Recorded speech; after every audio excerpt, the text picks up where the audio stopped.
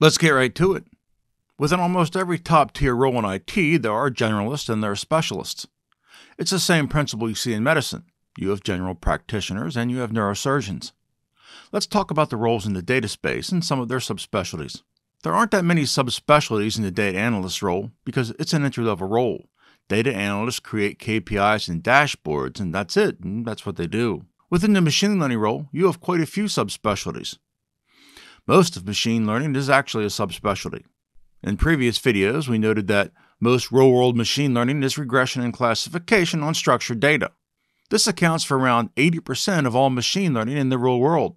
That means most machine learning engineers are going to focus on these type of problems. These are actually the only models I've ever built.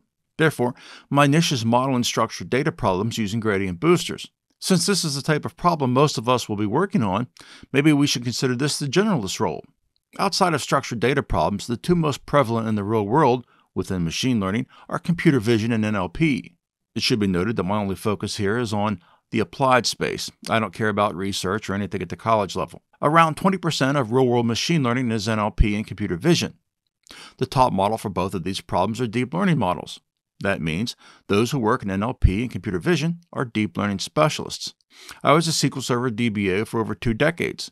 I spent the first five years as a generalist. After that, I focused on performance tuning. So, my subspecialty within SQL Server was performance tuning. The data engineer also has many subspecialties. You could be a data engineer and only focus on cloud data warehouses like Snowflake. I work with several of them right now, and the only thing they do all day is Snowflake administration. In this video, we've only spoken about the data roles. However, this taxonomy exists in most real world IT roles. Once you get your first job, you'll learn the various directions your career can take. The last thing I'll add is the money.